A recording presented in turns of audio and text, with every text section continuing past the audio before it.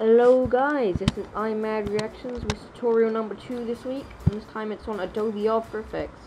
This is a pretty simple effect, um, you can use in montages to make it look pretty good.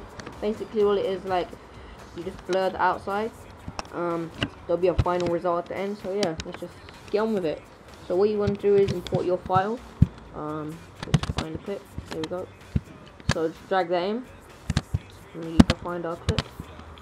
Yeah, here's our clip right here. And then um, let's just add some color. You just want to add add color correction whatever you usually do. I'll just do watercolors for now because I'm lazy. But yeah, um, after that, what you want to do is go to layer. Wait, what you want? Make sure your clip composition. Layer, new, adjustment layer. So then that's there. And then what you want to do is get your mask tool. Make sure it's set on pen tool. If you don't know how to do that, hold and click on it then what you want to do is just click and make a little border around it.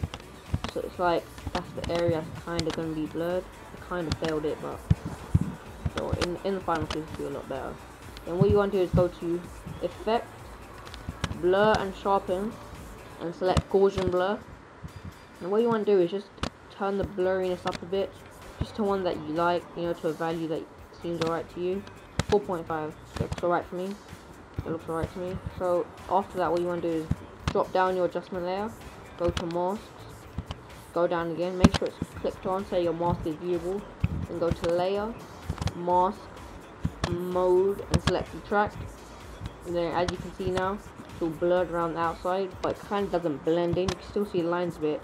So we're going to just click on mask feather, right click, edit value, and then just put the value up a bit. Just maybe, I done 51, looks alright to me and then there you go. It's like blended in. So yeah guys this is a pretty basic effect. Makes your montages look good. You know um, also in the comments leave, leave what you want to be tutorial next week. Um, if you want anything because I'll be happy to oblige.